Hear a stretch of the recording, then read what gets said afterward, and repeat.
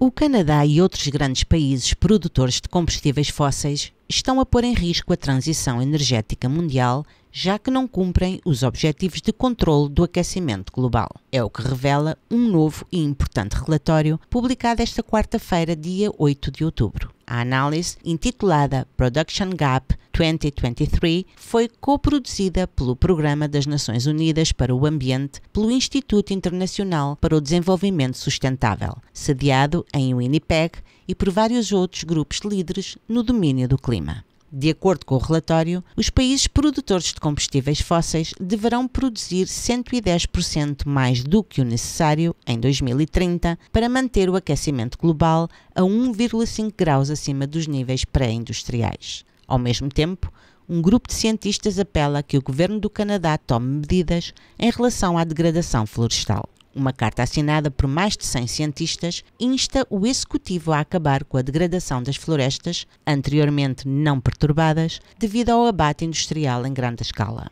A carta foi assinada por vários cientistas canadianos e americanos proeminentes nas áreas do clima e das florestas. Apela também à promoção das políticas globais destinadas a travar a expansão industrial em florestas primárias e antigas, em vez de as obstruir. A carta surge no momento em que o Canadá se prepara para elaborar a sua própria definição de degradação florestal. De notar que a União Europeia aprovou no início deste ano uma lei destinada a limitar a disponibilidade de produtos que contribuem para a desflorestação e a degradação.